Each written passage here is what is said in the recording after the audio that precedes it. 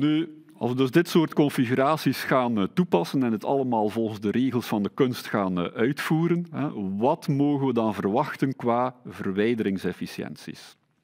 Ik heb dit even uit een publicatie van de International Water Association gehaald. Sterke punten van die helofietenfilters, zwevende stoffen en organisch materiaal, is geen enkel probleem om aan 90, 95, zelfs meer procent eh, verwijdering te geraken.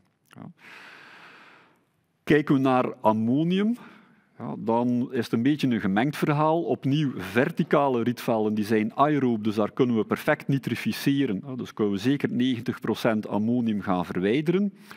Als we echter kijken naar die horizontale systemen, door het gebrek aan zuurstof, we eigenlijk nauwelijks tot niet gaan nitrificeren, dus die ammoniumverwijdering is daar een stuk lager.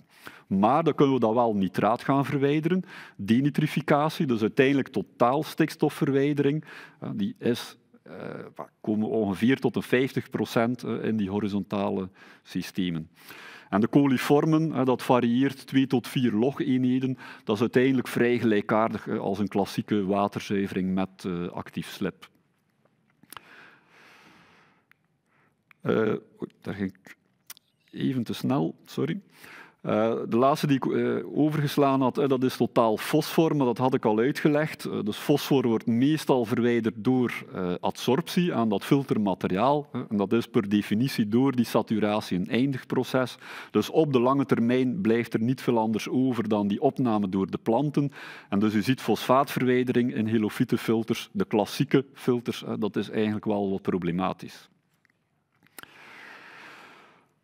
Iets wat ook heel sterk eh, speelt en eh, leeft, eh, ook met de, de, de kaderrichtlijn water, de, nieuwe, of, of de hernieuwing van de, de Urban Wastewater Treatment Directive die in aantocht is, dat zijn medicijnresten bijvoorbeeld, als voorbeeld van die opkomende verontreiniging.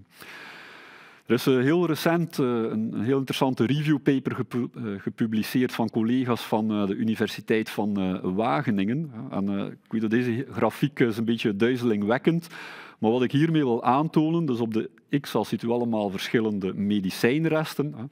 U ziet eigenlijk dat er een heel grote spreiding is van verwijderingsefficiënties. Het gaat vanaf 0 tot aan 100 procent, zelfs voor ja, dezelfde types rietvelden. En dat is gewoon omdat er heel veel zaken een rol spelen. Hè. Welk filtermateriaal gebruik ik? Welke plant gebruik ik? Um, hoe vaak heb ik die batches? hoeveel stikstof, fosfor? Dat, dat beïnvloedt eigenlijk allemaal de, die verwijdering van die medicijnresten. Maar het belangrijkste wat ik wil meegeven, dat is dat voor al die medicijnresten er uiteindelijk wel helofietenfilters zijn, waar dat we makkelijk 80 eh, tot bijna 100 procent verwijdering kunnen bereiken. Dus is het mogelijk met helofietenfilters? Zeker. En dan hebben we nog andere micropolluenten, dat heb ik even uh, samengevat voor uh, u. We hebben zelf studies gedaan ook op uh, microplastics. Blijkt dat die helofietenfilters zeer effectieve filtratiesystemen zijn voor die microplastics. We kunnen metalen verwijderen. We hebben gekeken naar metallische nanopartikels, ook geen probleem. Pesticiden, betex en noem maar op.